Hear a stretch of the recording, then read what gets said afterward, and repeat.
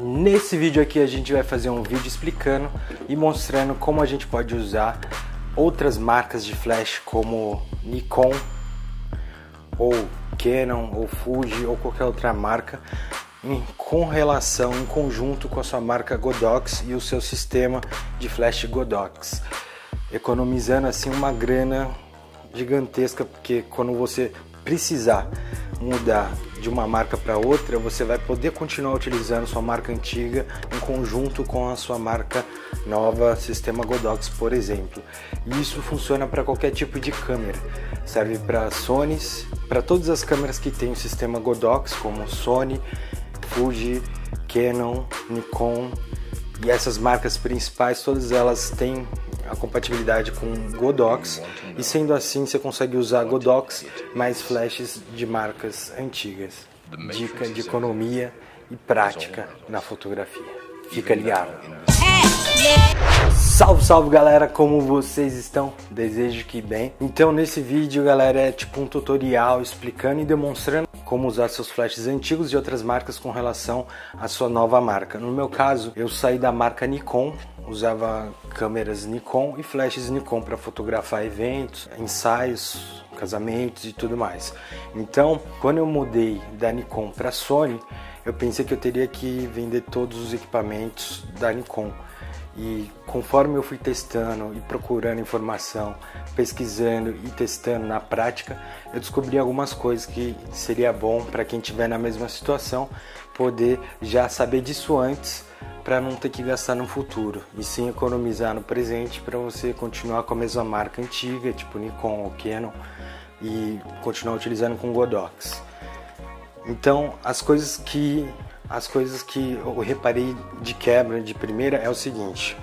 Com a minha nova câmera, no caso que eu mudei para a Sony A7 III, já faz alguns uns dois anos por aí ou mais. Então tava nessa, meu, não vou poder usar mais os flashes Nikon, que tinha todo um sistema Nikon, mais Yangnu e usava vários flashes juntos em uma só foto ou retrato. Eu pensei que teria que vender todos, né? Mas pelo contrário, galera, não venda ainda porque você pode usar e fazer bom uso deles. Então o que eu testei foi primeiramente encaixar o flash Nikon na câmera Sony, porque eu vi dizer que funcionava e funciona. Só que é, para funcionar você vai ter que usar ele em modo manual total e ele só vai até 250, né? Se você subir de 250 de velocidade, ele não vai rolar a foto direita, ou vai aparecer as barras, ou vai, não vai funcionar por completo, tá ligado? E às vezes dependendo como o mount aqui é diferente do mount aqui do bracket do flash na Sony, pode ser às vezes que tenha mau contato, então você tem que tipo meio que ajustar e deixar nessa posição. Então é tipo como se fosse um quebra-galho, que não, eu não aconselho porque o malte é diferente e os das outras marcas normalmente é de ferro mais forte e os da Sony são tudo mais frágeis, os componentes. Então, uma hora ou outra você pode acabar quebrando e assim eu não aconselho. E aí, as, a próxima tentativa que eu tentei foi usar o flash na câmera e usar ele para disparar por fotocélula o outro flash Nikon ou Canon ou Fuji, outra marca de flash em outro lugar. E funciona também nesses parâmetros de tipo até 250 de velocidade, manual total, e então também não faz high speed sync, tá ligado? É, o, Nikon no caso, né? Então eles disparam isso aqui por fotocélula, nesse aqui e já era. Essa é uma forma sem precisar comprar nada. Já a próxima forma que eu tentei foi comprar o rádio flash, né? Que é o transmissor da Godox, o X1T, mas hoje em dia já tem outras versões acima e por aí vai. E usar ele, né, acoplado na câmera. E dele aqui eu disparo o dele então na câmera eu disparo esse flash Godox, né, por via rádio. E aí desse Godox ele dispara a luz que por fotocélula alimenta o flash Nikon. E aí ele também dispara, mas também nessas mesmas configurações de total no manual, não vai pegar o TTL aqui, e vai até 250 de velocidade. Você não consegue subir mais que isso, por isso não consegue também o High Speed Sync. E aí a última tentativa que eu tentei buscar e ver se conseguia ter um controle melhor sobre o outro flash, sobre o flash da outra marca antiga, seja Nikon ou Canon.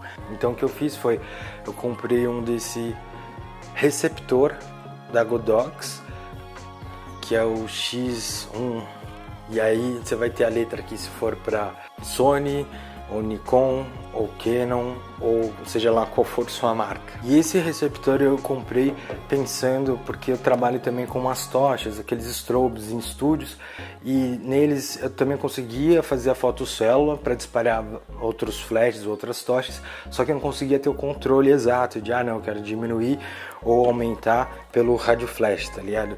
Então Pensando nisso, comprei esse daqui, usei nas tochas, usei com aquele cabinho de, de sincronização que sai aqui do lado e põe no strobe ou no flash e não consegui ter um controle sobre os strobes.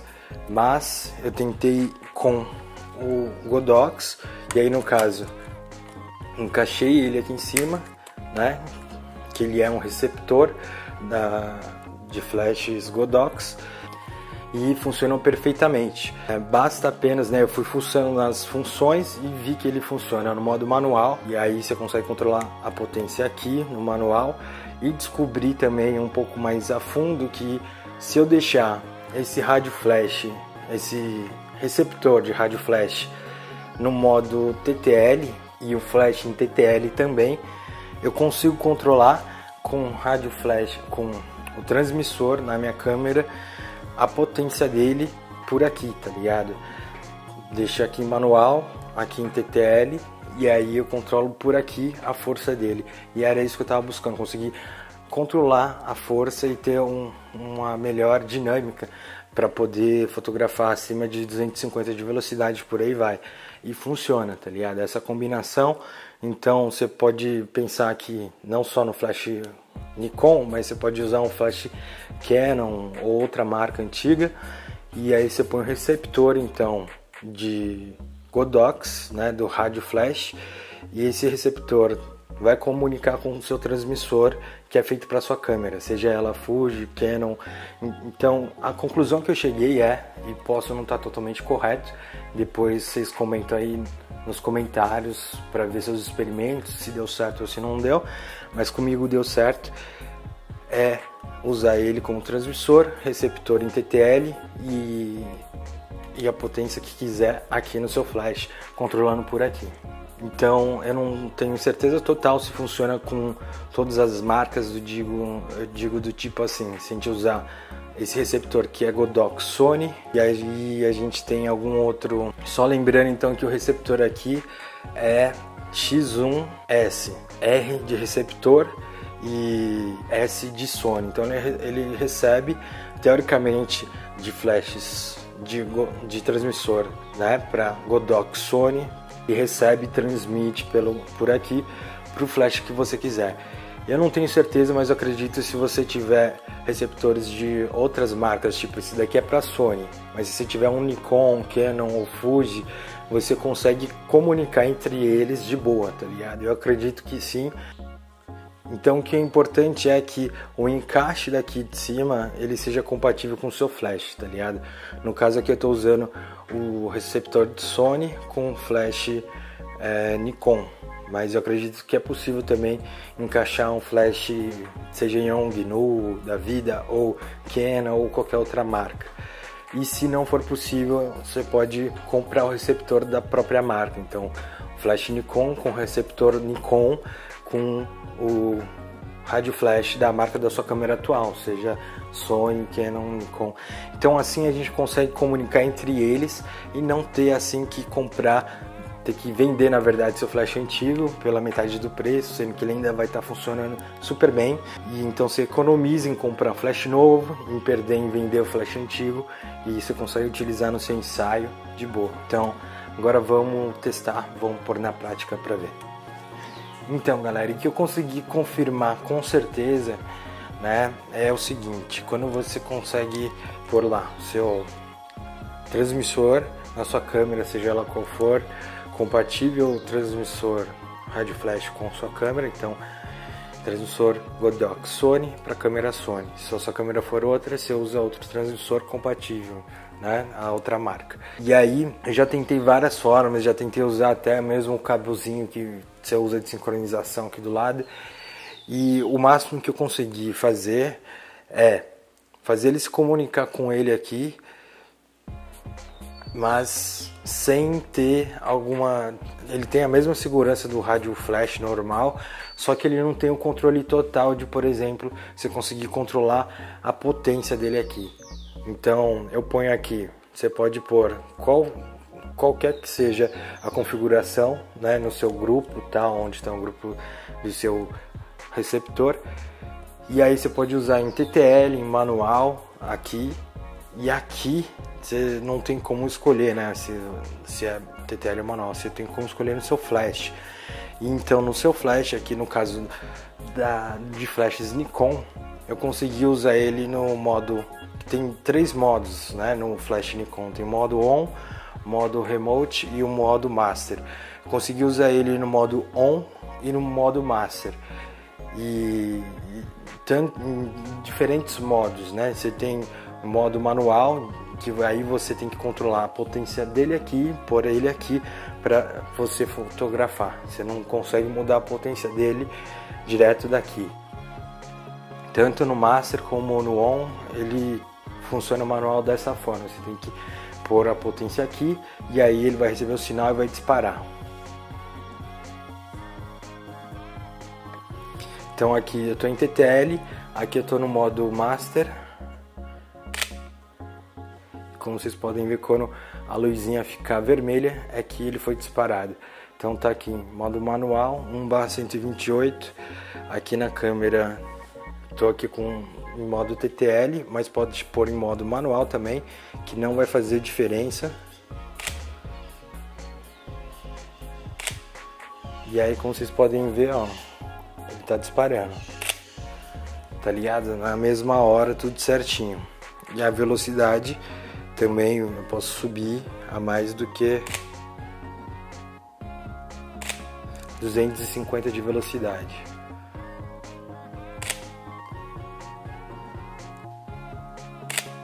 E aí a potência tem que controlar exatamente aqui no flash.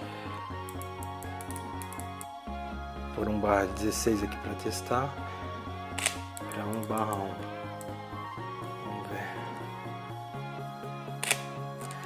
funciona. Acima de 250 e seja lá qual for a potência que você pôr no flash aqui, ele vai rolar de boa, tá ligado? Aí você tem os outros modos para você poder usar tipo modo A, que tá aqui, que é, cada flash é diferente, mas deve ser um tipo automático, não sei, ou ambiente, alguma coisa do tipo. O modo GN também só que aí que tá, esse modo automático e, e, o modo GN, eu não sei se é tipo um TTL da vida, e aí você consegue pôr mais 0,3, mais 0,5, mais 0,7, mais 1. Você consegue dar umas cargas a mais que nem como se fosse no TTL. Então ele rola em todos os modos, né? No, no modo Master. E aí no modo On aqui. Vamos ver só para confirmar. Mesma coisa, manual, aqui 1/64, aqui tá, eu deixei no TTL mesmo. E ele vai disparar normal o flash, como vocês podem ver. Tá vendo? E aí você pode usar nos outros modos também, como RPT. Também vai funcionar. No modo TTL, vamos testar aqui só no modo TTL que tem algum problema entre o rádio flash aqui que ele não dispara, tá ligado? Ele não dispara o flash, fica só na tentativa. Aí eu não sei se tem que mudar aqui no grupo, tá ligado? Pra o modo dele. Em vez de TTL põe no manual, aqui no, no transmissor, e não funciona. Então no modo on, modo simples, o TTL ele não vai funcionar, mesmo se você pôr em TTL no seu transmissor ou se você pôr também no modo manual. no modo A agora, vamos ver como funciona. Funciona também.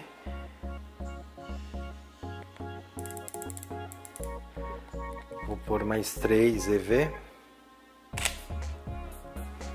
No modo GN também, também pega de boa. E em cima e na velocidade acima de 250.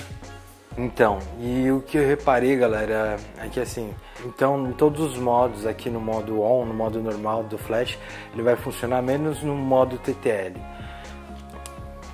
Aqui eu estou no modo manual no flash, modo TTL aqui no rádio.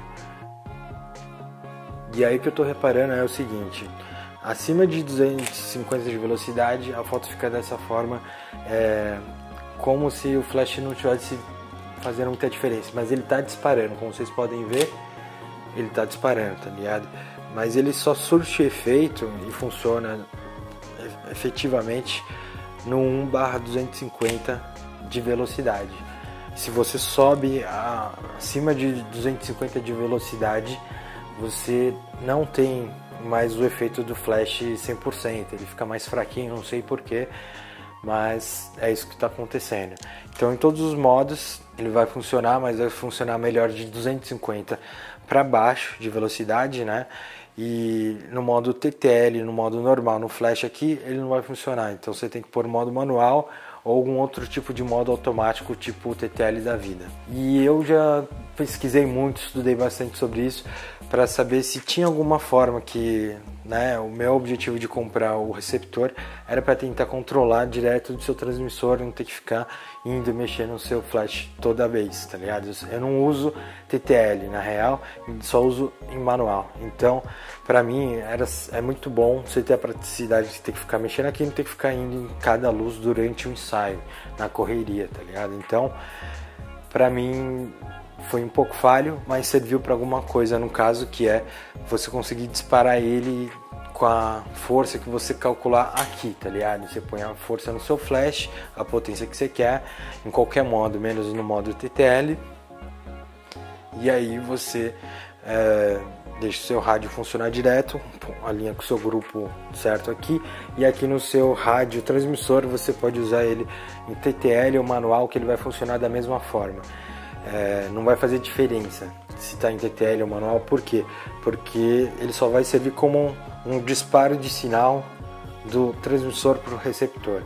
E aí o que tiver então calculado aqui da sua potência que você pôs, você vai ter de iluminação na sua foto, beleza? E é isso aí galera, muito obrigado aí pela sua presença única. Se te ajudou de alguma forma essas informações, deixa aí seu joinha, seus comentários lá embaixo se tiver alguma dúvida, alguma outra dica para passar e, aproveita para compartilhar com outros fotógrafos que vão passar ou estão passando pela mesma situação, beleza? Então agora eu vou pôr dois flashes, um só para a gente fazer o teste aqui.